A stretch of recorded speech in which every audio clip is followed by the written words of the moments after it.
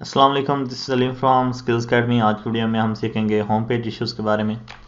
तो चलते हैं H T P status dot I की तरफ़। तो जो ज़्यादातर वेबसाइट्स होती हैं, उनके थ्री होम पेजेस होते हैं। एक index dot P H P दूसरा स्लैश होम या ज़्यादातर के होम पेज भी होते हैं। तो आपने चेक ये करना होता है कि हमारा मेन पेज जो है वो फ़र्स्ट वन ही हो। बाकी थ्री ज़ीरो वन हो सकते हैं। लेकिन मेन एक ही होना चाहिए। तो आप देख सकते हैं कि हमारा मेन पेज एक ही है। और ये सही वर्क कर रहा है। वीडियो देखने का शुक्रिया। अल्लाह